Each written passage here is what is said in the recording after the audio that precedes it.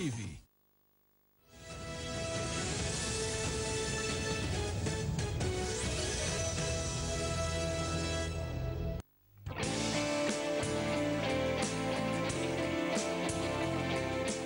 Setelah sukses dengan seri animasinya yang diputar di RCTI setiap minggu pagi, kini karakter Kiko bisa dinikmati dalam bentuk games. Games Kikoran resmi diluncurkan MNC Animation dan MNC Games. Games ini hadir untuk mendekatkan diri kepada anak Indonesia dengan aktivitas yang lebih interaktif.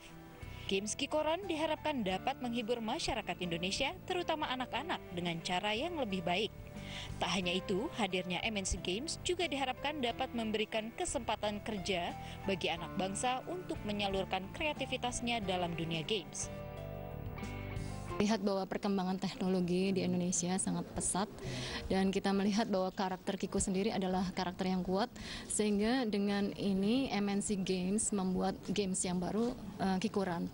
Yang ditonjolkan tentunya kita tahu bahwa uh, setiap games itu pasti punya ciri khas tertentu ya dan kita tahu bahwa uh, untuk Kiko sendiri itu kalau di dalam TV kan one way.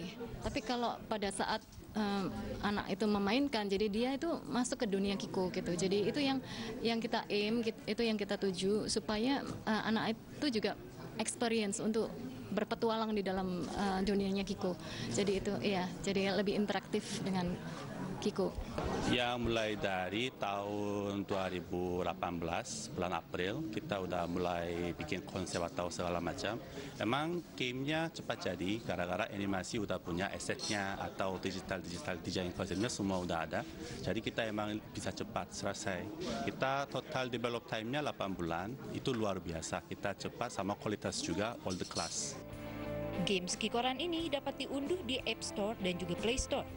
Harapannya, games Kikoran ini dapat menjadi pilihan hiburan yang sehat, menghibur, dan menstimulus ketangkasan daya berpikir masyarakat Indonesia. Tim Liputan iNews melaporkan.